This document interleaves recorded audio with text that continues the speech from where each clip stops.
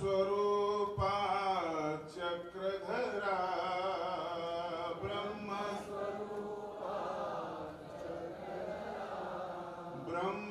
ब्रह्मस्वरूपा चक्रधरा ब्रह्मस्वरूप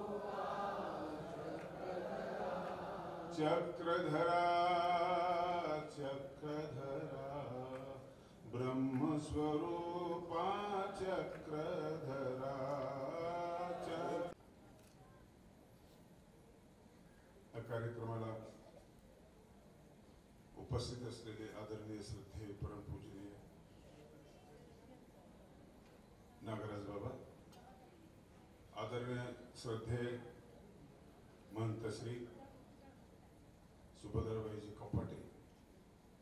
माझे परमस्नेही आदरणीय संतोष शास्त्रीजी. त्याचप्रमाणे आदरणीय अंजनगावकर बाबा आचार्य प्रवर परमपूजनीय महंत सुखेनीकर बाबा. इथं उपस्थित असलेले सर्वच महंत संत समितीचे अध्यक्ष त्यांचे पदाधिकारी. भाविस्कर साहेब या ठिकाणी पत्रकार म्हणून उपस्थित राहिलेले अन्य काही पत्रकार असतील बंधू आणि भगिनी. सर्वज्ञांची जयंती आहे. परमेश्वराची जयंती असते. आपला जन्म असतो. आपल्या कर्माप्रमाणे आपण मनुष्य देहामध्ये येत असतो. परमेश्वराला कर्म नसतात. तो स्वतःच येत असतो स्वतःचा निर्णय असतो. कर्माच्या रेट्याने आपण सरकत असतो त्याला कुठला रेटा नाही कारण तो समर्थ आहे. आणि म्हणून त्याच्या चरित्राला लीळा म्हटलेला आहे. आणि आपल्या जीवनाला चरित्र असं म्हटलेलं आहे. लीळा चरित्र हा संयुक्तिक शब्द आहे. परमेश्वराचं जे आहे त्या लीळा आहेत. आणि त्यात आपलं आलेलं जे चरित्र आहे परिवाराचं ते चरित्र आहे. जयंती शब्द हा अनेक वचन आहे जयंतीच. अनेक वचन आधारार्थी वापरलं जातं. जसं महंत हा शब्द सुद्धा अनेक वचन आहे. महान महंत व महंत अनेक वचन आहे. याच्यामध्ये आधाराचा भाग असतो. जैनची त्याची असते. जो आल्याबरोबर मोक्षाचे दार उघडतो. ज्याचा जन्म बंदीखान्यामध्ये झाल्यानंतर सुद्धा कुलूप तुटल्या जातात त्याचा जन्म होता क्षणीच मारायला टाकलेले राक्षस झोपी जातात. आणि ज्याचा जन्म होण्याबरोबरच आई वडिलांच्या हातापायातल्या बेड्या तुटून पडतात. असा सर्वज्ञ श्रीचक्र प्रभूंचा आहे. स्मशानामध्ये प्रीता संचार केल्याबरोबर त्याच क्षणामध्ये कवडी किंमत नसलेल्या प्रीताला जिवंत केलं आणि वैश्विक मूल्य त्याच्याकडून वधून घेतलं. इतर ठिकाणी अवतारांचा तरी वयाचा संबंध येतो त्या वयात आल्यानंतर बालक्रीडा वेगळ्या असतात बाकी सगळं वेगळं असतं. सर्वांच्या जीवनामध्ये बालक्रीडा हा नाही आहे. होत्या त्या हरिपाळाच्या होत्या. आणि म्हणून जन्म झाल्याबरोबर राख राख होणारा प्रेत मातीत मिसळणारा प्रेत सडन प्रक्रिया सुरू झालेल्या प्रेतामध्ये जो एक चैतन्य निर्माण केलं. जो एक जिवंतपणा आहे याच्यामध्ये. आणि म्हणून उद्धाराची प्रक्रिया जी आहे इतर अवतारांची उशिरा सुरू झालेली आहे. आणि श्री चक्र प्रभूंनी जन्म घेता क्षणीच उद्धरण प्रक्रियेला सुरुवात केलेली आहे. आणि पतितोद्धारक हे नाव आपण त्यांना जे देत असतो विशेष आपण त्यांना लावत असतो याचा आरंभ पहिल्याच क्षणामध्ये त्यांच्या जीवनामध्ये झालेला आहे विचारापासून पतित असलेले आचारापासून पतित असलेले नैतिकतेपासून पतित असलेले माणुसकीपासून पतित असलेले अशा पतितांचा उद्धार करण्याचं व्रत सर्वज्ञांनी त्या स्मशानामध्ये घेतलं. त्या सरणावर घेतलं. मरण सरणापर्यंत घेऊन गेला आणि सरणातून पुन्हा आणखी नव जीवन नव चैतन्य निर्माण केलं. श्री चक्रधर प्रभूंचं हे फार मोठं वैशिष्ट्य त्या काळातलं तर सोडा आजच्या काळातही आपण असे कुठेतरी भरकटलेला असतो आपण जागेवर नसतो. आपण भानावर नसतो. विचारशक्ती परमेश्वराने माणसाला दिली तो भानावर असायला पाहिजे. तो भानावर नसतो. एसटीतून प्रवास करत असताना शेजारी दारुडे बसलेला असतो आणि तो पाय खाजवतो. दुसऱ्याचे पाय खाजवतो. तो म्हणतो माझा पाय काय खाजवतो? म्हणजे हा तुमचा पाय आहे का? म्हणजे हो. मग माझे पाय कुठे गेले? बघ तुझे पाय कुठे आपले पाय कुठे गेले हे त्याला माहिती नाहीये. आपलं डोकं कुठे गेले हे त्याला माहिती नाहीये. एखाद्या माणसाला आपण ज्यावेळेस म्हणतो हो मी काय म्हणतो हो मी काय म्हणतो तो तंद्रेमध्ये असतो. मग आपण त्याच्यासमोर हात नाही तो असं कुठे आहात तुम्ही? तो तिथंच बसलेला आपण पाहतोय. पण तिथं बसलेला असून तो त्या ठिकाणी बसलेला नसतो. शरीर जागेवर असतं मन चक्र मारत असतं. आपली निर्णय क्षमता केलेली आहे. अशा तऱ्हेने आपण आपल्यापासूनच पतित होत चाललेलो आहोत. म्हणतात जगाच्या नजरेतून तुम्ही उतरले हरकत नाही. काही अडचण नाही काहीच तुम्ही तुमच्या नजरेतून उतरले म्हणजे उतरले. तुमचा मृत्यू त्यावेळेला झाला असतो. तुम्ही तुमच्या नजरेतून उतरता.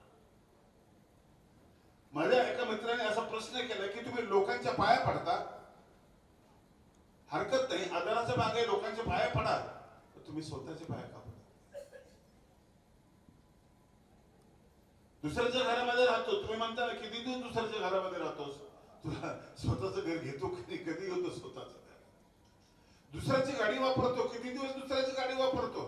स्वतःची गाडी घेतोस की नाही? असाच प्रश्न हा उपस्थित का करता येत नाही की किती दिवस दुसऱ्याच्या पाया पडायचं? स्वतःच्या पाया पडता येणार नाही का आपल्याला. पायापासून दूर गेलेला माणूस आपल्याला सुरुवात करायची आपल्या जीवनाची तर पायापासून सुरुवात करायची. तू उभा ठाकलाशी पुरे हा आरंभ आहे विकासाचा. विकासाचा आरंभ डोक्यापासून नाही केला सर्वज्ञांनी पायापासून केला. पण गंमत अशी की जेव्हा आपण स्वतःच्या पाया पडण्याचा आपण विचार करू त्यावेळेस आपल्याला लाज वाटेल. माझे पाय त्या लायकीच्या नाहीत. खूप कृष्ण स्वतःचा अंतर तोंडामध्ये टाकताना एक चित्र आपण बघितलेलं आहे. एका भक्ताने कृष्णाला विचारलं अरे असं का करतोस? तुझं चांगलं तो तुझ्या तोंडामध्ये घालतो. उत्तर इतकं छान दिलं की जे ज्ञानी योगी तपस्वी माझ्या पायावर डोकं ठेवतात ते किती गोड आहे मला तर अनुभव दे समग्र स्वामींच्या चरित्राचा आशय एकच येतो की स्वामी माणूस घडवत आहे.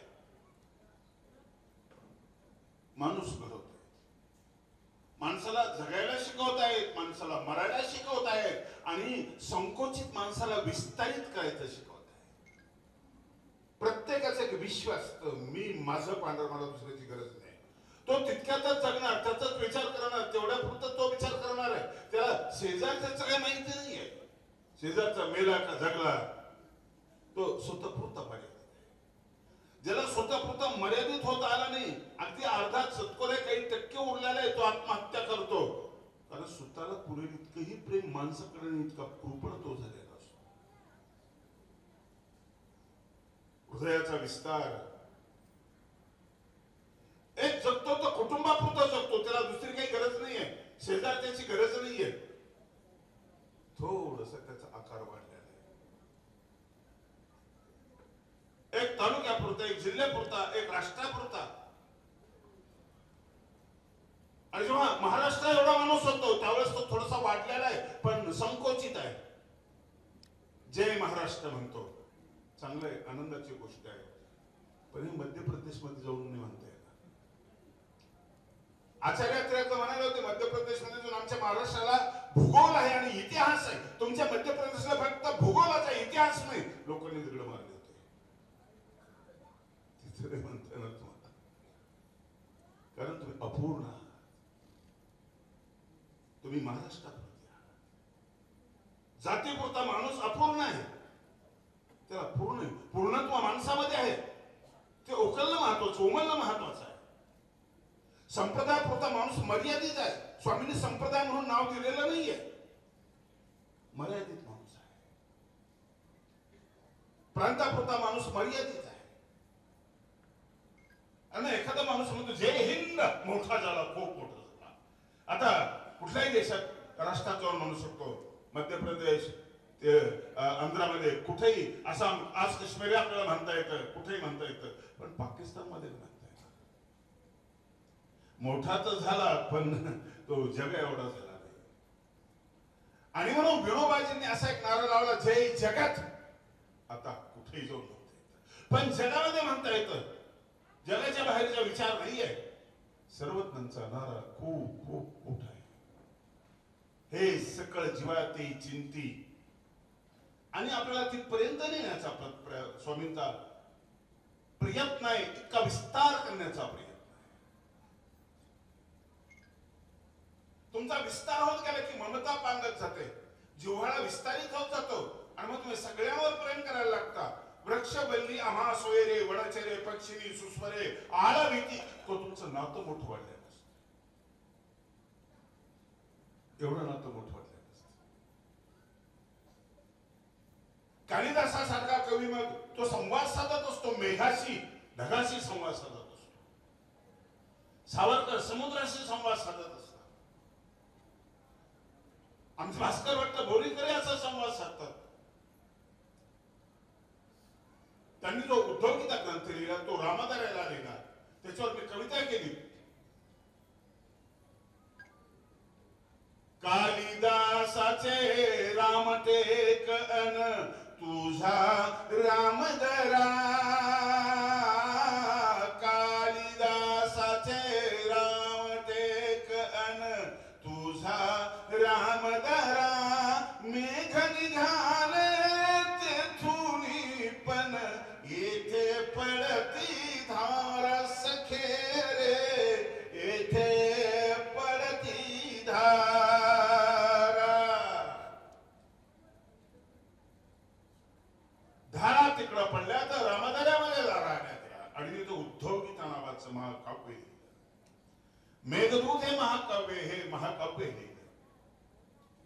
हा विस्तार संकोचाच्या गाठीने अनेक प्रकारच्या ग्रंथी आपल्यामध्ये आहेत.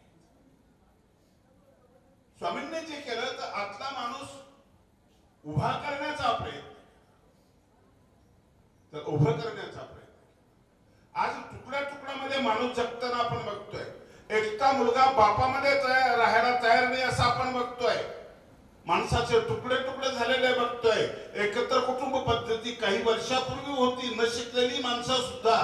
अडाणी माणसं एकत्र राहण्याचं कुठलं शिक्षण नसताना ते ज्ञान त्यांना होतं. आज माणूस असा खंडित होत. छोटा बनत चालला. छोटा बनत सामान्य त्या ग्रंथी तोडून टाकल्या त्या ग्रंथी फाडून टाकल्या. विनोबाजींना एकदा गांधीजींनी पत्र लिहिलं त्या पत्रामध्ये असं लिहिलेलं होतं तुमसे बडा महात्मा महिने दुनिया में कहीं नहीं देखा है. असं पत्र आलं असतं आपल्याला. आता आपण नाचायला लागलो असतो. राष्ट्रपिता असलेली व्यक्ती आपल्याला सन्मान देते. थोड्या थोड्या सन्मानासाठी हुरळून जाणारा माणूस. पण विरोबाने पत्र बघितलं ते फाडलं तुकडे तुकडे केले कचरापट्टे टाकले. एका मुलाने बघितलं पवनारमध्ये राहणाऱ्या एका मुलाने. डॉक्टर अभय बंग यांनी सांगितलेली गोष्ट आहे. ते विनोबाजींच्या सभासद होते. तो मुलगा म्हटलं गांधीजी तर पत्र कोणाचं कधी फाडत नाही हे कसं काय फाडणार? काहीतरी वाईट असेल त्याच्यामध्ये. गांधीजी खोलीमध्ये गेले तो गेला कचरा कुंडीजवळ आणि त्याने ते तुकडे वेचून काढले आणि ते व्यवस्थित जोडले आणि मग वाचलं तुमसे बडा महात्मा दुनिया में मैंने कहीं नहीं देखा है.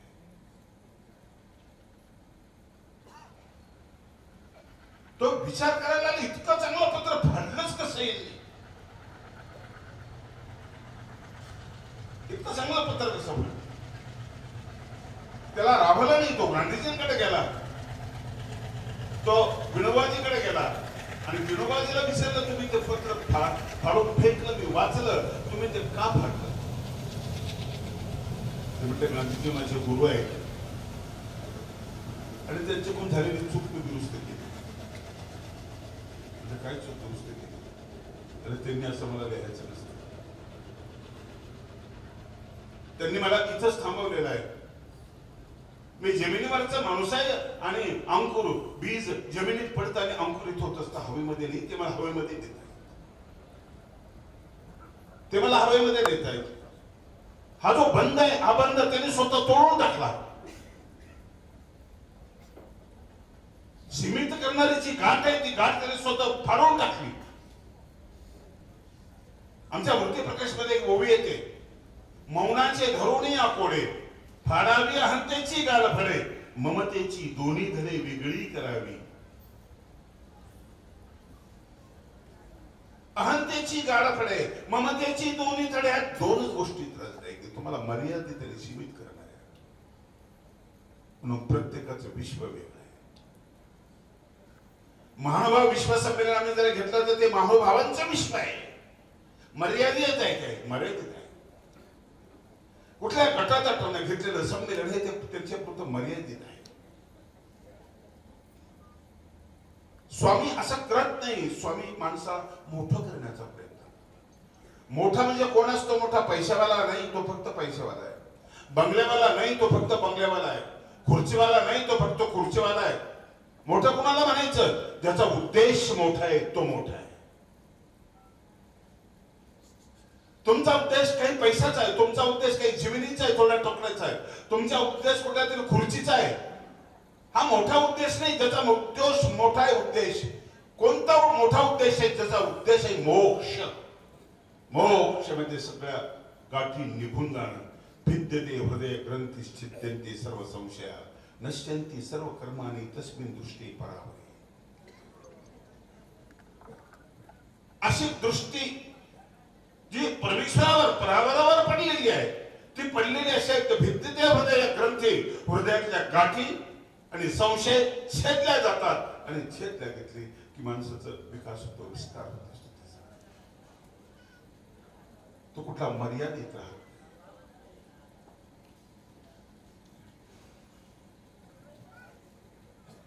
राष्ट्रभक्ताचा विकास राष्ट्र राष्ट्रापर्यंत असतो. त्याचं विश्व तेवढं असतं. रिश्वत विश्व तेवढं जो जे होणे असेल तो त्याची बोले त्याचं बोलणं तेवढंच असतं. तो जेवढा आहे तेवढंच त्याचं बोलणं असतं. स्वामी त्याला स्वतःच बोलणं बंद करायला सांगतात. सोक्ती शास्त्रोक्ती लोकोक्ती हे काढून टाकायला सांगतात. मी जे म्हणतो ते मी म्हणतो म्हणजे काय? मी कोण आहे?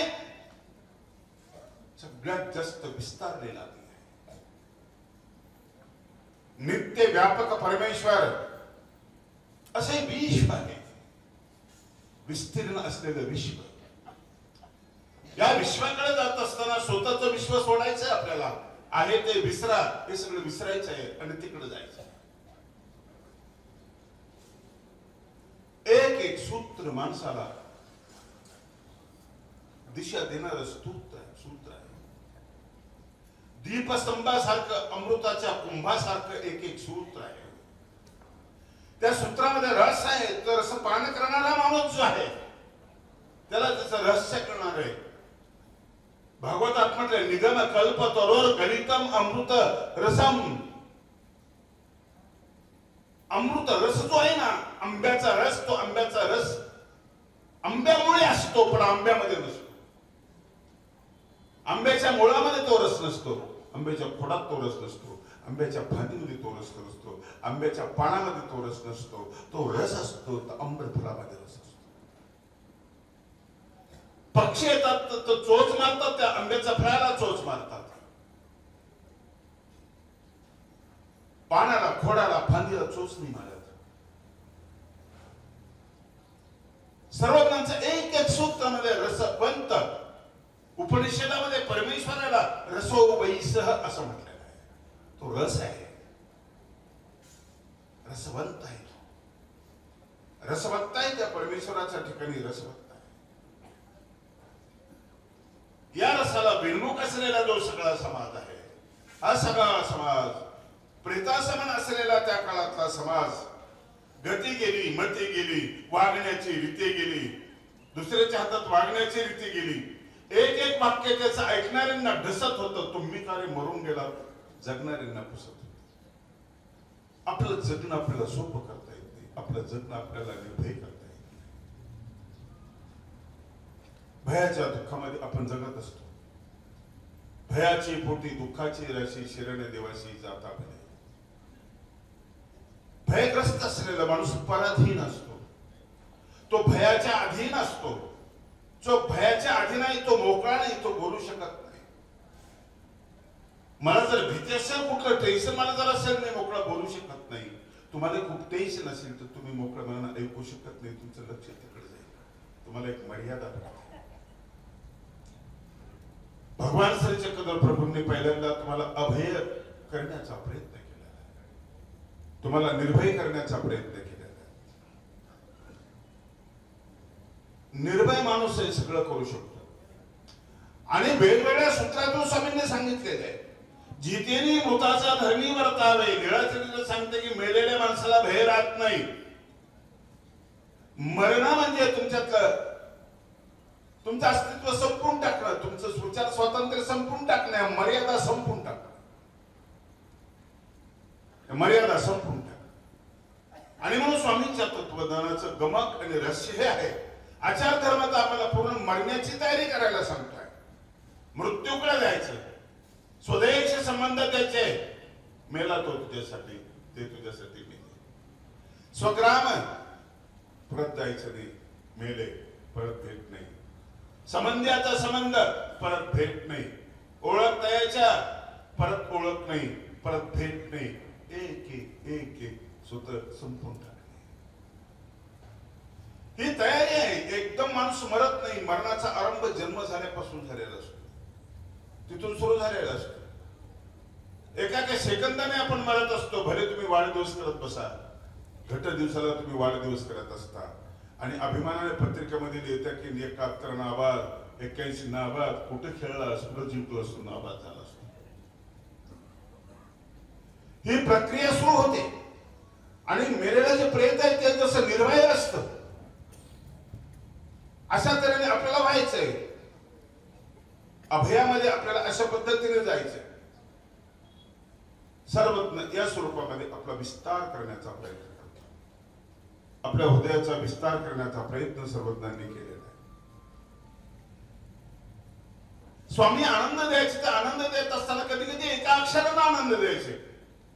आम्हाला प्रवचनातून मिळणार असा आनंद एकाच अक्षराने एखाद्या वाक्यातला एक अक्षर बदल करून स्वामी आनंद द्यायचे. संकोचाला विकासाचं रूप द्यायचे. खूप बारीक तोंड चेहरा करून बसले तुम्ही. त्यांचं तोंड एवढूच झालेलं होतं. तोंड तेवढंच असतं. सुकलेलं असतं नाराज असतं म्हणून तसं दिसत असत. असाच एक ब्राह्मण स्वामींकडे आला. सुकलेल्या चेहऱ्याचा नाराज असल्या स्वामींनी त्याला बघितलं. त्याची अवस्था स्वामींना माहिती होती. लोक त्याला पंचरांडा म्हणायचे. पंचरांडा. त्याला दुःख वाटायचं. पाच मुली होत्या आणि पाचही मुली विधवा झालेल्या होत्या घरी होत्या. जुन्या काळात थोडस एक मुलगी जर घरी असली ती तिला अपयशी कोणी समजतात तिला कुठल्या कार्यक्रमामध्ये घेत नाही. अपयशी कोणी समजतात तिचे केश ओपन करतात पांढरे कपडे देतात. तिला विद्रुप पण होतात. तिने लोकांपासून बाजूला राहावा ही अपेक्षा तिच्या नशिबी एक नाही पाच मुली किती अपयशी माणूस आहे लोक पंचरामला म्हणायचे त्याला. तो सर्वज्ञांकडे आला. आणि लोक जे म्हणायचे ते तसं ठेवून स्वामींनी फक्त एका अक्षरामध्ये बदल केला. या पंचगंगा हो एकाच अक्षर आणि एकाच अक्षराने त्याला जे वाटलं ते त्यांनी आपल्या तोंडातून व्यक्त केलं निवाला ही निवाला. एकाच अक्षरातला बदल रा ऐवजी गम त्या ठिकाणी टाकलं. आणि याला संदर्भ आहे ब्रह्मवैवर्त पुराणाचा. मुलींना गंगा म्हणतात. स्वामी चेष्टेनं म्हटलं की हिनवला अशातला भाग नाहीये. ब्रह्मवैवर्त का पुराणामध्ये मुलींना गंगा म्हटलं त्यांना पवित्र म्हटलेलं आहे. त्यांना पवित्र म्हटलं. तुम्ही भले मासिक धर्म असेल तर पवित्र समजा पण जेव्हा त्याला धर्म शब्द लावलेला असतो ते पवित्र नसतं अपवित्र नसतं. पवित्र आहे आणि म्हणून एखाद्या कुटुंबाला एखाद एकाच अक्षरामध्ये बदल करून स्वामी आनंद देत होते. कुठे एका सूत्राने हृदय परिवर्तन करत होते. एका सूत्राने हृदय परिवर्तन करत होते. फार काही सांगायची गरज नाहीये. अडाणी माणसाचं करत होते निरीक्षण माणसाचं करत होते मांसाहारी माणसाचं करत होते. सस्यक रक्षणाच्या वेळेमध्ये एकच तर सूत्र आहे हंगा इथे शरणाऱ्या काही मरण असे. एकच सूत्र पारधी कबूल करतात. देवाचे तर सांगतात आता आम्ही कधी शिकार करणार नाही. आम्ही नाही शिकार करणार. एकच तर वाक्य. एखादा शब्द एखादा दृष्टांत परिवर्तन करणारा एखादा दृष्टांत. आपल्या भाषेमध्ये स्वामी सांगत होते. पण मी असं म्हणणार नाही की स्वामींना मराठीचा अभिमान होता. नाही आपण स्वामींना आणखी छोट करण्याचा प्रयत्न करतो. स्वामींना मराठीचा अभिमान मग तेलुगूचा तिरस्कार होता काय? पंजाबी आवडत नव्हती काय? हिंदीचं वावडं होतं काय? असं आपण ज्यावेळेस त्यांना भाषेला चिटकू ना त्यावेळेस ते छोटे होते ना त्या भाषेपुरते ते मर्यादित होते. त्यांना सोपं सांगून आवडत होतं. ते आंध्रात जर गेले असते तर सोपी तेलगू बोलले असते. हिंदी म्हणजे सुलभ हिंदी बोलले असते. ज्या परिसरात गेले तिथल्या सोप्या भाषा असेल स्वामींचा निरोपणाचा जो केंद्रबिंदू होता तो होता सामान्य माणूस. सामान्य माणूस केंद्रबिंदू होता. त्याला ज्ञान द्यायचं होतं त्याला प्रेम द्यायचं होतं. झाडी गोंडवाड्यामध्ये स्वामी गेले त्यावेळेस बोललेच नाही पण न बोलताना आनंद दिला. बोललेच नाही.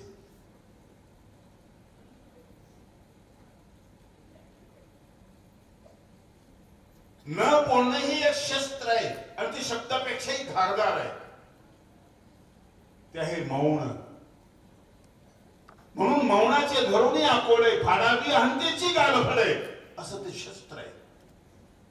अहंकार मौनाने फाडला जातो. एखाद्याला तुम्ही बोलूच नका त्याची दखल घेऊ नका त्याचा अहंकार चिरला जातो.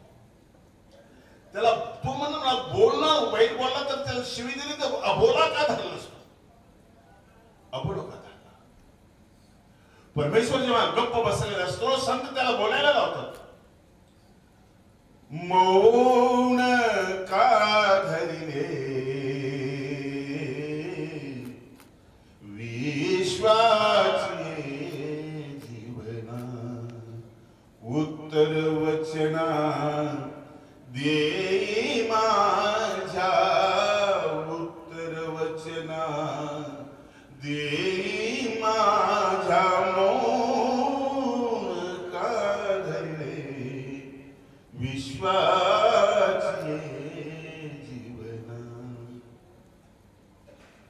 तू माझे संचीन तू माझे प्राचीन तुझी नित्य नेम देवराया देवराया देवराया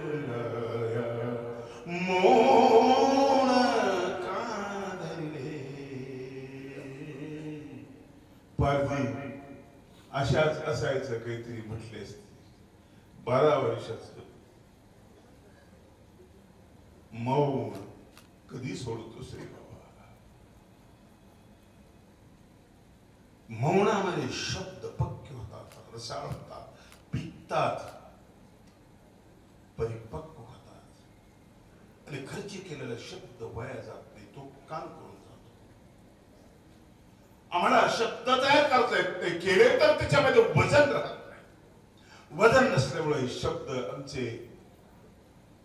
बुडबुड्यासारखे असतात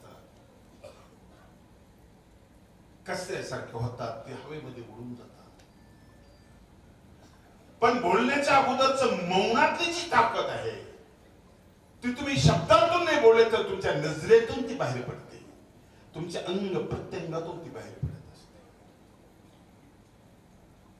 तुमचं देह बोलायला लागतं तोंड नाही बोललं तर देह बोलायला लागतं.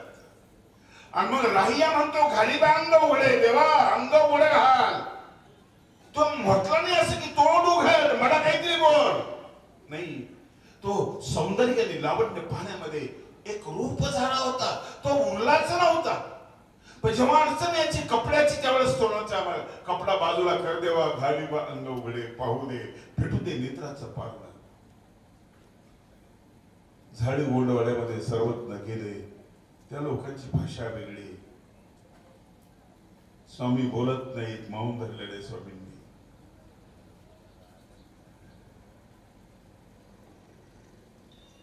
स्वामींनी त्यांना काही निरूपण केलेलं नाही. श्लोक सांगितला नाही.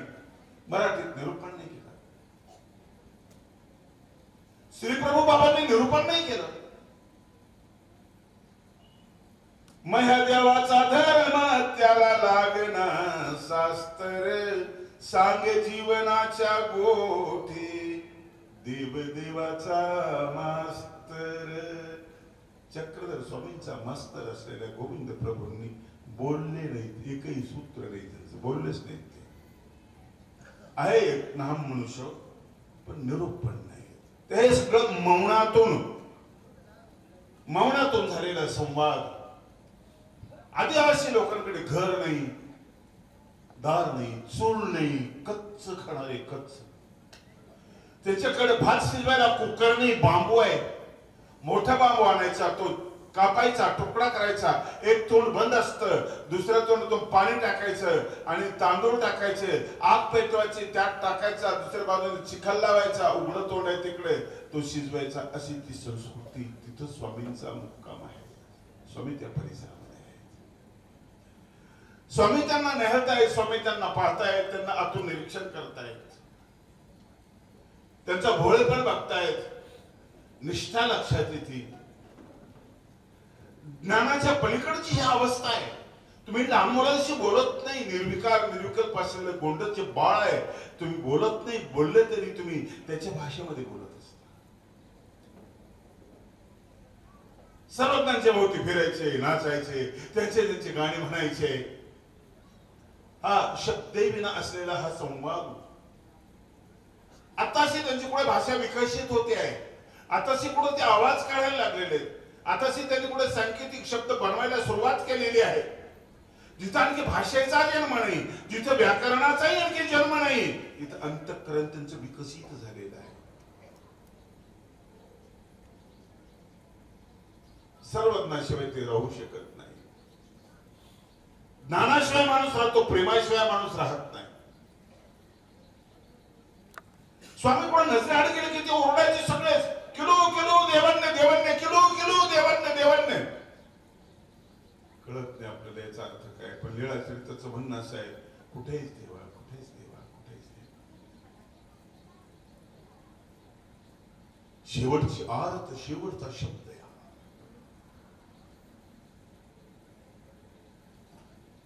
वेदाने विचारलं उपनिषदाने विचारलं पुराणाने विचारलं कुठे आहे तू?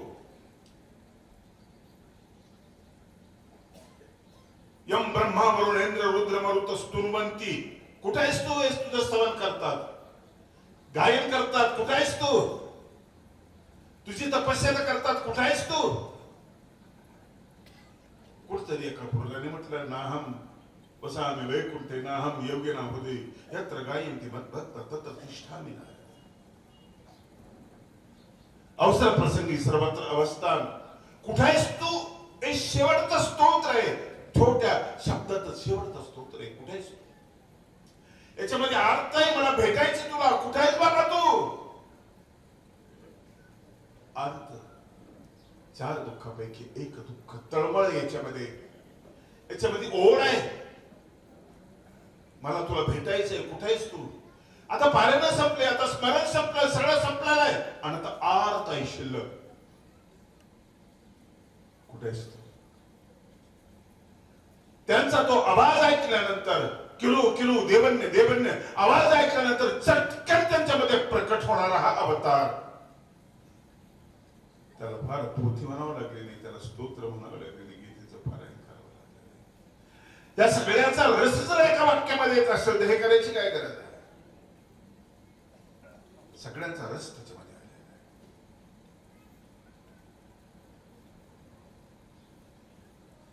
आता तुम्हाला सांगतो स्वामींचा सहवास तिकडे झाला. बराच काळ जेव्हा सहवास होतो संस्कृतीमध्ये त्या गोष्टी झिरपत असतात टिकत असतात विखुरलेल्या असतात. आजही त्या परिसरामध्ये अभयबंदच्या म्हणण्याप्रमाणे पंचवीस वर्षापासून तिकडे ते असतात बलात्कार घडलेला नाही.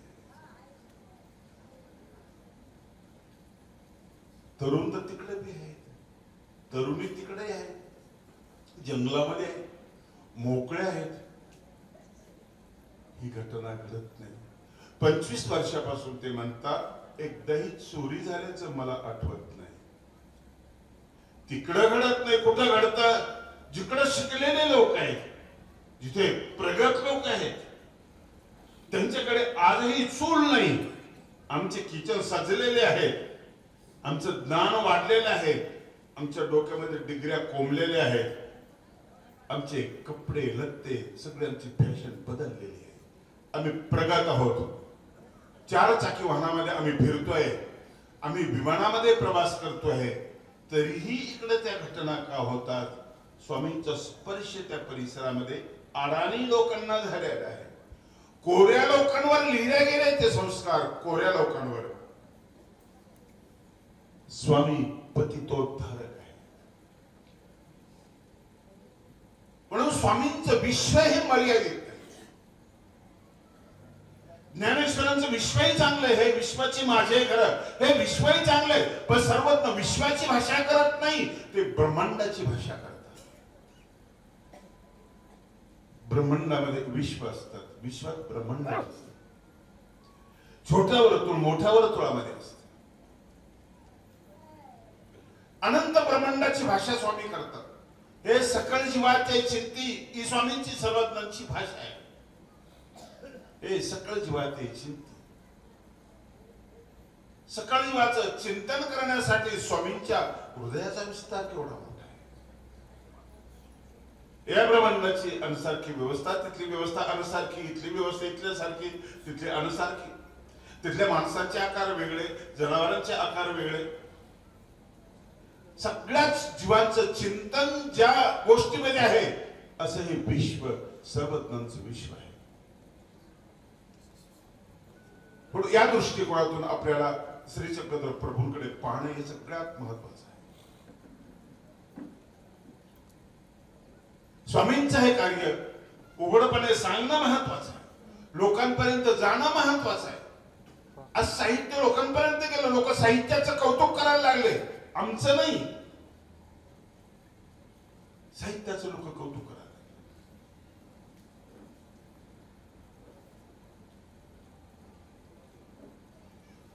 आम्ही आज दबक्या आवाजामध्ये बोलतो. स्वामींचे सूत्र आम्ही धबक्या आवाजामध्ये सांगतो.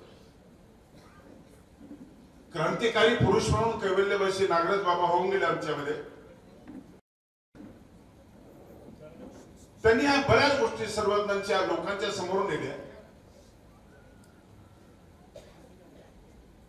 सर्वज्ञांना अभिप्रेत असलेला जो धर्म आहे तो लोकांपर्यंत सांगितला सगळ्यांची उन्नती करणारा विकास करणारा अशा प्रकारचा धर्म श्री चक्रधर प्रभूंनी आम्हाला सांगितलेला आहे.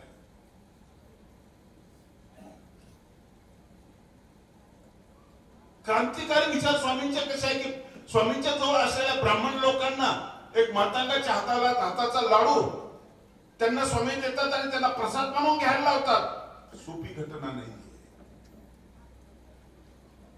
आजही जात मानायचं नाही आम्ही ठरवलं तरी आम्ही जातीच्या नावावर खूप गोष्टी करतो संघटन करतो जातीच्या नावावर.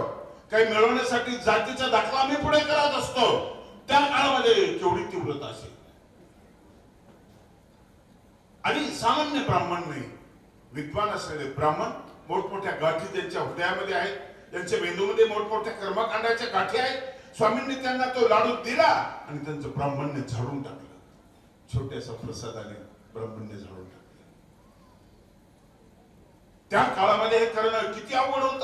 केलं एकनाथांनी झाला त्रास केलं ज्ञानेश्वर महाराजांनी झाला त्रास प्रयत्न केला तुकाराम महाराजांनी झाला त्रास.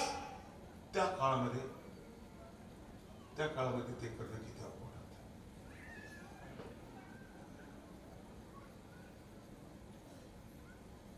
असं का होतं माणूस? जातीमध्ये का कोणला जातो? या भ्रमामध्ये का राहतो माणूस? पण या वेगवेगळ्या प्रकारच्या गाठी आपल्या जीवनामध्ये आहेत. वेगवेगळ्या प्रकारच्या गाठी. फक्त रिकामा माणूस पटी बुद्धीचा माणूस रंग नसलेल्या बुद्धीचा माणूस मला रंग आहे हिंदू धर्माचा रंग आहे एकाला रंग आहे हिरवा रंग आहे तो मुस्लिम धर्माचा आहे एकाला जांभळा आहे आणखी तो कोणाचा आहे हे वेगवेगळ्या रंगाने रंगलेली माणसाची आहे. ही बुद्धी आहे. रंग निघून ज्यावेळेला जाते ना त्यावेळेस ती प्रज्ञा आहे. स्वामी प्रज्ञाला बुद्धीला प्रज्ञेपर्यंत नेतात.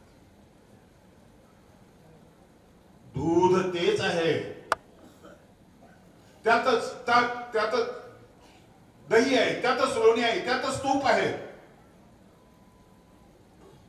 त्यावेळेस तुपाच्या अवस्थेला ते जातं त्यावेळेस त्याचा भाव वाढलेला असतो त्याचा सुगंध वेगळा असतो त्याच्या त्रुटी निघून गेलेल्या असतात. सर्वज्ञांनी आमच्या बुद्धीला प्रज्ञेपर्यंत नेण्याचा प्रयत्न केला स्त्री पुरुषांचा जो भेद होता तो भेद स्वामींनी नष्ट केला. जीव वेगळे नाही आणि जिवल्या वेगळ्या नाही. स्त्री म्हणजे जीवली नाही. ती जीवच आहे ती तितकी समर्थ आहे. अनंत ब्रह्मांडाचा मालक असलेला जो अवतार आहे तोही आईचं दूध पितोय तोही यशोदेचं दूध पितोय इतरांना आनंद देतो पण आईच्या दुधाचा मोह त्यालाही आवडलेला नाहीये. सगळ्या ठिकाणी जिंकणारा कृष्ण यशोदे समोर हरला असं सूरदासने लिहिलेलं आहे.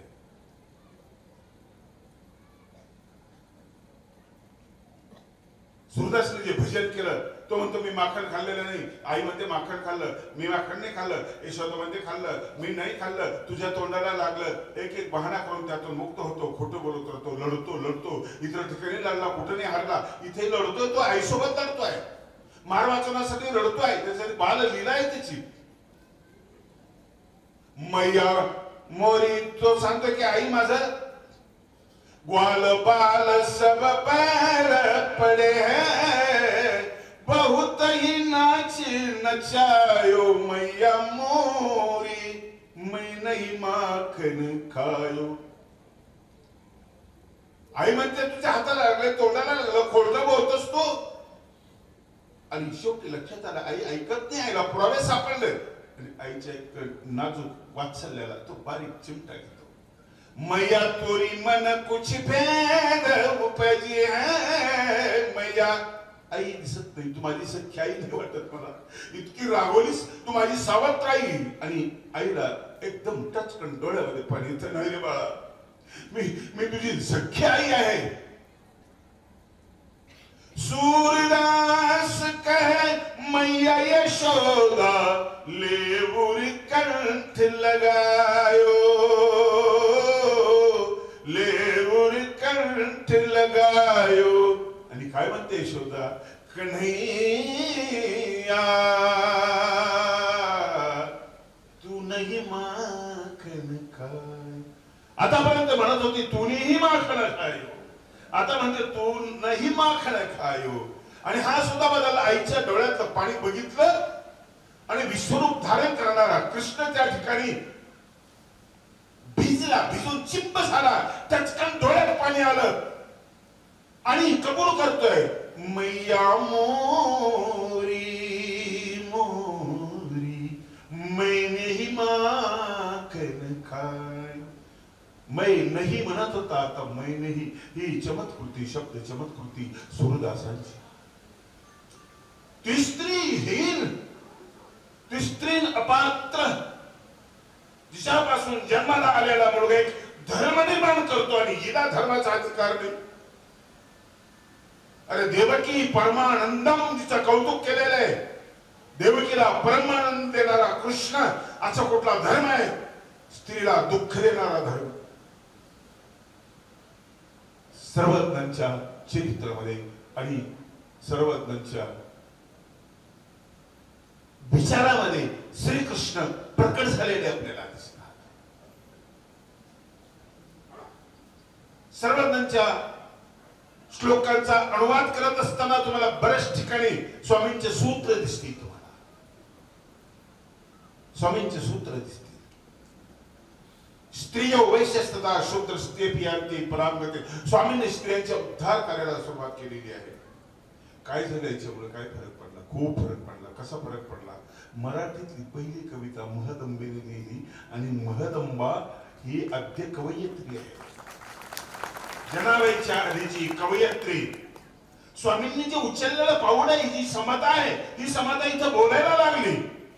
आणि त्याला पहिलं काव्य लिहिलं महाका महाकाव्याचं लिहिलं महादंबेचे थवळे म्हणून. किती किती बदल होत गेला. क्षणशास्त्र संपन्न असलेला भैम भट्ट जेव्हा श्रद्धापूरला जातो आणि एक मातंग भेटतो त्याला विचारतो श्रीप्रभू बाबा कुठे आहेत? आणि तो सांगतो अमुक रस्त्याने गेलेला आहे आणि तिथं ते त्याला दंडवत घालतात. महाराष्ट्रामध्ये ब्राह्मणाने केलेला मातंगला हा पहिला दंडवत आहे.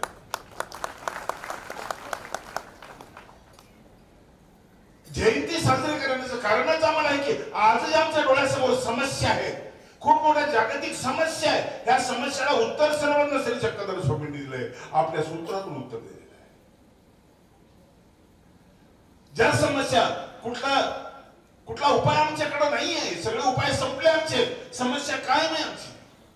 नव्हता मला शिवाजी महाराजांच्या काळामध्ये शेतकरी आत्महत्या करत नव्हता.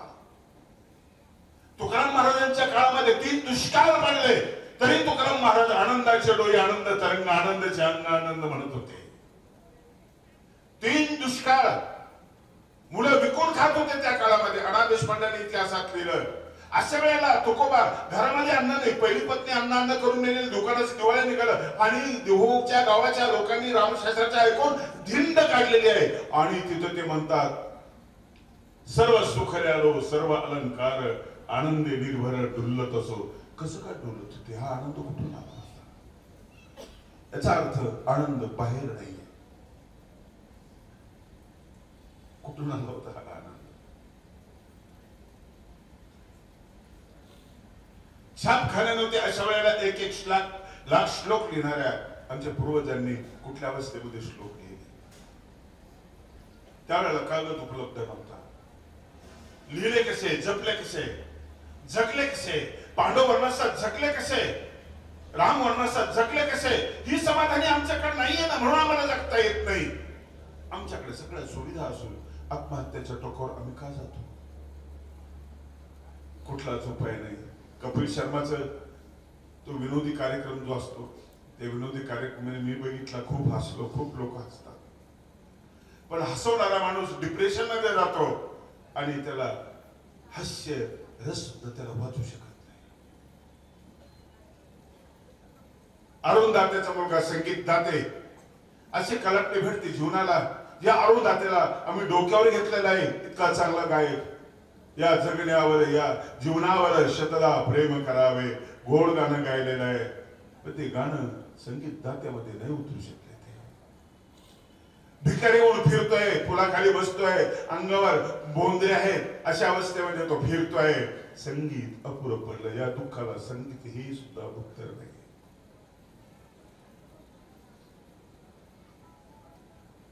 उपदेश कधी कधी अपुरा पडतो. भैयोजी महाराज लोकांना टेन्शन मुक्त करणारे उपदेश देऊन ताणतणावातून मुक्त करणारे. दुर्दैव इतकी चांगली व्यक्ती आणि त्या टोकाला कशी काय कुठं शोधायची उत्तर शोधायची कुठे? दोन दिवस झोपलो याचं कारण ते आणि मी नगरला एका व्यासपीठावर होतो. मी एक तास बोललो ते एक तास बोलले. अत्यंत प्रसन्न अत्यंत देखडा आणि भाषेवर प्रभुत्व असलेला तो माणूस. असतील कुठल्या समस्या समस्या समस्या असतात मार्ग निघत नाही का? हजार मार्ग जगण्याचे भिकारी होऊन जगा गायब होऊन जगा कसं होऊन जगा? पण जगण्याचं मूल्य कळलं तर ना?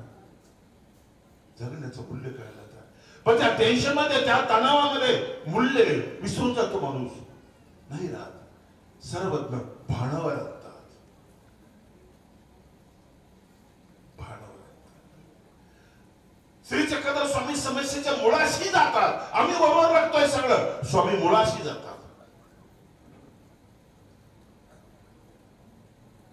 जगण्याला अडचणी ज्या होतात त्याला कारण दोनच आहेत फक्त. एक आहे अहंता दुसरी आहे ममता. का प्रत्यय जिथं लागला ती अडचण आहे? अहम वाईट नाही. अहम तो सर्व पाप्य भ्यव वाईट असतात तर म्हटलं नसतं. मम वाईट नाही. ममता वाईट आहे. अहम वाईट नाही. अहंता वाईट आहे. स्वामींच्या सहवासात ते औस म्हणते मला आत्महत्या करायची आयुर्देशीची माणसं. आम्ही कडबार म्हणून असं ते आमचं मोडतो. आणि स्वामींनी आले. तिला निरूपण करतात. अहंतेचे मूळ सकंदी उपडावे नाही.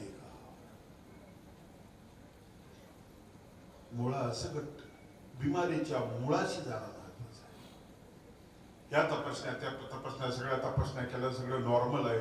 मुळापर्यंत नाही गेलो आपण. मुळाशी एक साधी गोष्ट सांगतो एक कावळी एक कावळा घर बांधत होता. त्याची बायको बाळंत होणार म्हणून. जंगल मोठं निवडलं. घर बांधताना तर तुम्ही निवड करता की नाही? आजूबाजूला काय आहे? कॉर्नरचा आहे का प्लॉट किती तुम्ही निवड करता. हा विचार त्याने केला.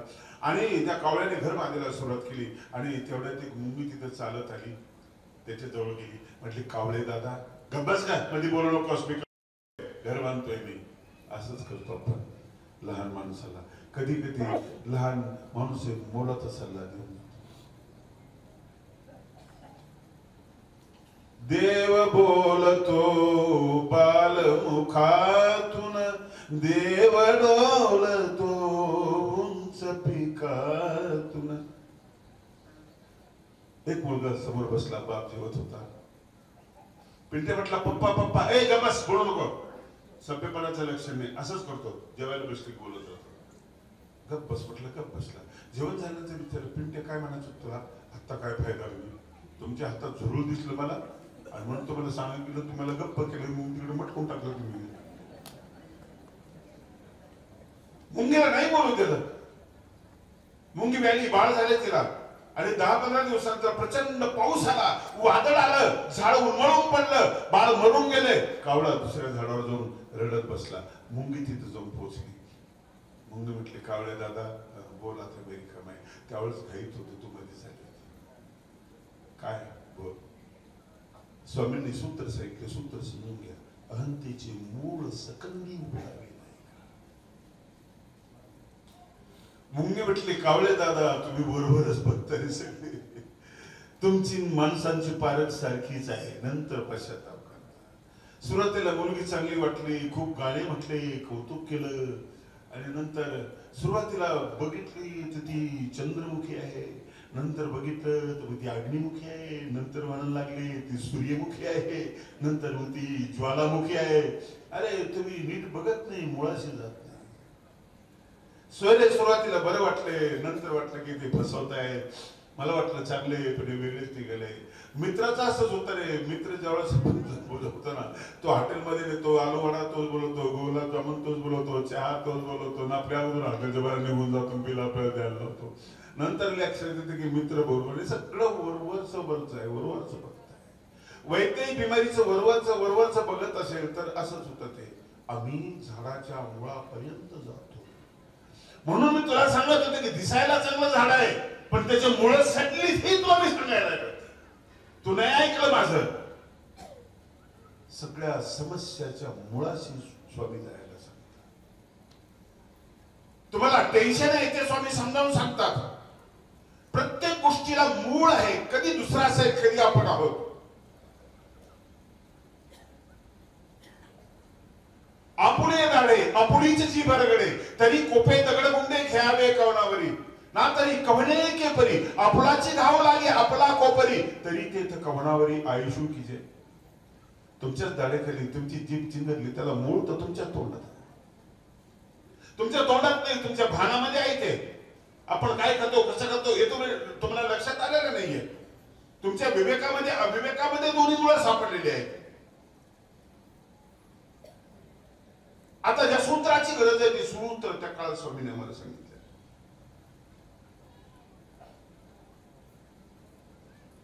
मी पोपटराव पवारांकडे भेटायला गेलो. गाव चांगलं आहे त्यांचं कार्यकर्ते चांगले आहेत त्यांची व्याख्यान मी ऐकले. आणि तिथे गेल्यानंतर मग त्यांना मी विचारलं गाव कसं होतं ना आता कसं आहे? काय बदल केला? ते त्याने सांगितलं की गाव या गावामध्ये दीडशे भट्ट्या होत्या दारू भट्ट्या होत्या आता तुम्हाला दारूचा एक थेंबही भेटणार नाही. तुम्ही बंद केला? हो, हो बंद बंद केला. चाराबंदी बंद केली. कुराड बंदी कुराड बंदी ठेवली बोर घेऊ देत नाही. आमच्या इथं जमिनीमध्ये तीनशे फूट खोल पाणी होतं. आता तीस फुटावर पाणी मी इतका थक्क झालो. पण हे लोक एका माणसाचं ऐकत नाही. भागवत चालू आहे दूरदर्शनवर रामायण चालू आहे देवी भागवत चालू आहे प्रवचन चालू आहे. लोक ऐकत नाही. तुमचं कसं ऐकलं आमचं महाराज लोकांचं ऐकत नाही. तुमचं कसं ऐकलं गावातल्या लोकांचं अजिबात ऐकत नाहीत लोक. आमच्याच गावचं आहे मोठं शहाण आहे अमुक आहे तमुक आहे. तुम्हाला हे कसं आवडतं. त्यावेळेस त्यांनी मला हे सूत्र म्हणून दाखवलं पोपटराव मुळाशी जायला स्वामींनी शिकवलं म्हटले. अहंतेचे मूळ सकंदी उपडावे. अहंतेचं श्री जे जे असेल ते. तुमच्या बिमारीचं मूळ असो तुमच्या भांडणाचं मूळ असो कुठलंही जे असो त्या मुळापर्यंत आत्महत्येला जे मूळ आहे ना त्या मुळापर्यंत जर आपण गेलं आपण मोकळ हो. मुळापर्यंत जर गेलं जगण्याचे हजार मार्ग आहेत हजार मार्ग. नवीन निर्माण होणाऱ्या समस्याला स्वामींनी सांगितलेलं आहे. लज्जारूप धर्म स्त्रियेशी रक्षण. गोड सूत्र आहे. स्वामी स्त्रियांना सांगतात की तुम्हाला संरक्षणाची गरज नाहीये. तुमच्यामध्ये आहे तो संरक्षक. सेक्युरिटी तुमच्यामध्ये परमेश्वराने दिलेली आहे. काय तिचं नाव? लाज. लाज. लाज महत्वाची आहे. अंगभर कपडे घालणं महत्वाचं आहे. विषारी नजरेपासून तुम्हाला सुद्धा वाचायचं असेल ना अंगभर कपडे घाला मर्यादित बोला वेळेचं बंधन सांभाळा या सगळ्या गोष्टी करा. त्या सूत्रात असं का म्हटलं? निर्भय प्रकरण घडतं कोपुर्णी प्रकरण घडतं. आणि आजूबाजूला सारखे प्रकरण घडत असतात. त्यावेळेस आपल्या लक्षात येतं की आपलंच कवच आपण भेदून टाकलं आपलं कवच आपण भेदलं. स्वामींनी महाराष्ट्रातला माणूस बघितला संस्कृत पासून वंचित असलेला शास्त्रापासून वंचित असलेला हा माणूस आणि हा दुबळा झालेला माणूस हजारो देवी देवता रोगातून निर्माण करणारा हा माणूस. इतका अडाणी माणूस आहे. खूप देवी देवतांनी निर्माण केल्या बिमारीतून निर्माण केल्या. चिपड झाले चिपड्याची स्थापना केली. खोकला झाला खोकळ्याची स्थापना केली. एका एका बिमारीचा एक एक देव उभा केला. शेता बांधावर बसवला. पटके आली कोणाला आला? नाही कळलं ना जंतूचा रोग आहे. आम्हाला संसर्गजन्य आहे ना काही कळलं नाही. आरोग्य कसं बिघडत त्यांना कळत नाही. यांनी मरिमाय स्थापन केली. यांनी गाणे रचले. पोत्रास तयार झाले. ते गाणे म्हणायला लागले. आई माझे माई तुझ रान कोकणात राहण कोकणात गाडा चालेल नात ग मरी माई. आई माझे माई तुला वाहिन कमळ वाहिन कमळ. बाळ गोपाळ सांभाळ ग मरी माई दवाखान्यात कोण लागतो तो लोक सगळे ते. आई बाबा जर आला दारामध्ये त्याची पूजा करायचे गोगो मुलांना त्याच्या पायावर पडायला लावायचे. काही म्हणायचे पागरी काहीच्या आता मारते त्याला दम देण्यासाठी कळून आई माझे माई तुझी चेष्टा कोणी केली? चेष्टा कोणी केली? त्याला ढाळ उलटी झाली गे मेरी माय देवाची निर्मिती शास्त्राची निर्मिती.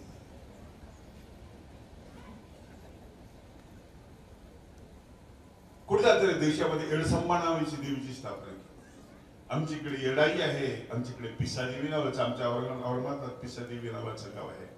वेळे झाले की तिकडे द्यायचे पिसे झाले की इकडे द्यायचे. आणि मूळ जो देव आहे त्या देवापासून माणूस बाजूला गेलेला आहे. मूळ देव त्या देवाचं नाव सांगितलं स्वामींनी काय नाव त्याचं? आनंद. फक्त आनंद. त्याच्या बोलण्यातून पाहण्यातून ज्याच्या कृतीतून आनंद मिळतो तो देव. स्वामींनी ते सूत्र सांगितल्यानंतरही इतरांच्या लक्षात नाही आलं. खूप वर्षानंतर तुकडोजींच्या लक्षात आलं. स्वामींचं वाक्य देव पाखणाचा नव्हे देव चित्राचा नव्हे. पाखणाचा असला तर फुटेल चित्राचा असला तर फाटेल. आणि तुकडोजींनी ते भजनामध्ये उचल दगडाचा देव त्याला वडराच भेव.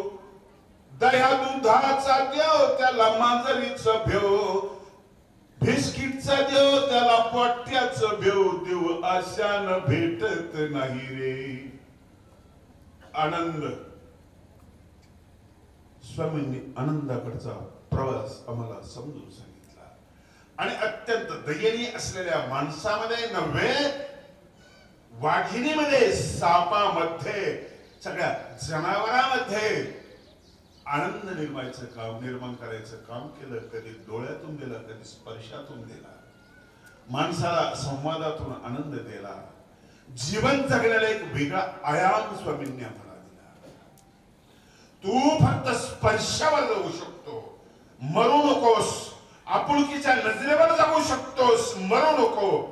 पुरुष आत्महत्या जास्त करतात. महिला कमी कर. महिलांना जगायचं असतं. आपल्या बाळासाठी गेले असते पण चिंकीचं काय होईल पिंट्याचं काय होईल तिचं प्रेम तिला मरू देत असे काही दृष्टांत स्वामींनी सांगितले की त्यातून जगण्याची आम्हाला एक प्रेरणा मिळाली. अन्न हे जीवनाचं जीवन आहे काय? नाही. अन्नाशिवाय माणूस जगतो. म्हटले कसं जगतो? असं तर कोणीच जगत नाही. स्वामींनी उदाहरण दिलं कोंबडीचं. तुमच्या जवळचं कोंबडी म्हटले अंड्यावर बसते. अंड्याला छिद्र नसतं. कोंबडीला दूध नसतं. दुधाशिवाय तुमचं बाळ वाढत नाही. कोंबडीचं अंड्यातलं पिल्लू कसं वाढत वाढत की नाही? वाढत वाढता याला प्रमाण की नंतर तेच आतून ते अंड्याला फोडत कवचाला आणि ते बाहेर येतं. बळ येतं की नाही त्याच्यामध्ये? येतं. काय दिलं कोंबडीने? काहीच नाही दिलं. काय दिलं? फक्त स्पर्श दिला. फक्त स्पर्श. एवढी ताकद आपुलकीच्या स्पर्शामध्ये तुम्ही दाढी करताना त्यावेळेस न्हावी तुमची दाढी करतो उलटी पालटी त्रिपी तरपी फेस लावतो आणखी काही केमिकल टाकतो तुरटी लावतो नंतर टावेलने पुसतो. तो स्पर्श असतो पण त्याच्यामध्ये धंदा असतो. त्याच्यामध्ये सौदा असतो. तो स्पर्श पैशाला मिळतो. पण तुमचं खरकट तोंड आई आपल्या लुगड्यानं ज्यावेळेस पुसते ना तो स्पर्श असतो. तिथं धंदा नसतो तिथं फक्त फक्त प्रेम असत. आणि त्यावेळेस तुमच्या अंतकरणामध्ये ज्या लहरी निर्माण होतात त्या आपुलकीच्या तो स्पर्श तुम्हाला असा स्पर्श देत जा असा स्पर्श घेत जा. बाबा आमते तसे नास्तिक होते. गेलो आश्रम बघायला क्वार्टर पडलेले होते. तेव्हा त्यांनी असा हात केला हातात हात मी घेतला.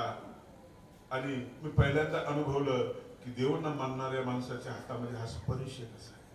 माझं अंग शहारून गेलं. शहारून गेलं माझं अंग. समाज सेवेतून त्यांनी जो आनंद निर्माण केला त्याचा त्यांना जो आनंद वाटला आनंद वाटला. फिरत्या हातातून त्यांनी असं काही विश्व निर्माण केलं अशा काही वस्तू त्यांनी निर्माण केल्या. जगण्याची लायकी नसलेल्या लोकांना लायकी प्रदान केली. झालेल्या लोकांना त्यांनी एक वेगळी उभारी दिली. केवढा मोठा आनंद आहे. आहेत ना आपल्या आजूबाजूला सुद्धा असे लोक आहेत. त्यांना ममतेचा स्पर्श ही खूप गरजेची गोष्ट आहे. नवीन विचार आहेत स्वामींचे. हे स्पर्शाने माणूस जगतो स्पर्शाने माणूस मरायचं थांबवतो. स्पर्श हे बळ आहे माणसामध्ये. अन्न हे बळ नाही आहे नाही असं नाहीये. पाच टक्के फक्त अन्न हे तुमचं जीवन आहे. फक्त पाच टक्के. पाण्यातून तुम्हाला जे मिळतं ते अन्न ऐकण्यातून तुम्हाला मिळतं ते जे अन्न. बळ वाढतं माणसाचं. इतिहासातून मिळतं आम्हाला ते आम्हाला पुराण ग्रंथातून मिळतं. साधी साधी गोष्ट आमची हिंमत वाढवते. अभिनंदन पाकिस्तानमध्ये गेले हेलिकॉप्टर क्रॅश झालं आणि तो खाली त्यांनी उडी मारली. विचारलं लोकांना हे भारत आहे का पाकिस्तान? ते पाकिस्तान आहे हा. पटकन त्यांनी कान पकडायचे असते माफ करा. चूक झाली माझी वगैरे. पण नाही. वंदे मातरम. जय हिंद.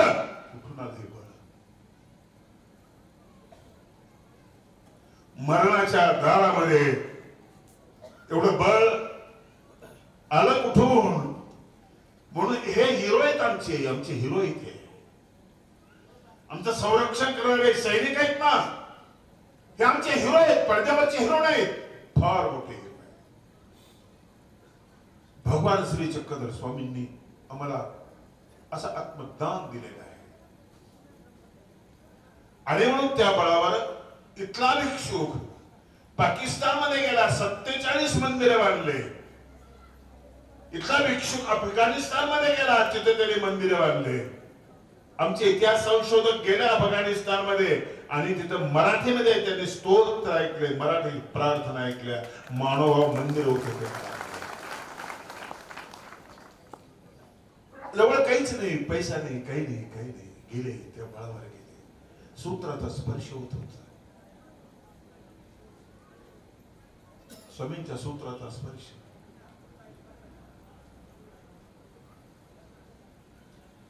वचन रूप परमेश्वराचं जो सूत्र आहे त्या सूत्राचा स्पर्श असं एक एक वाक्य तुम्हाला भानावर आणणार तुम्हाला प्रकाशामध्ये आणणार भाऊ?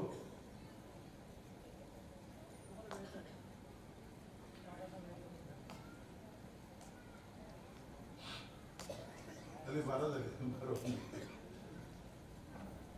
आणि म्हणून स्वामींची जयंती आहे. ध्येयती जिंकणारा तो कधी हरत नाही कधी तो माघार घेत नाही. महात्मा फुले यांनी माघार घेतली नाही त्यांच्या जीवनामध्ये सामाजिक कार्य करत असताना. डॉक्टर बाबासाहेब आंबेडकर हे जे महामानव आहेत सगळ्या मानवांनी विचाराच्या अधिष्ठानाने विचाराचं अधिष्ठान विवेकाचं अधिष्ठान घेतलं. आणि लोक प्रकाशमान करण्याचा प्रयत्न केला.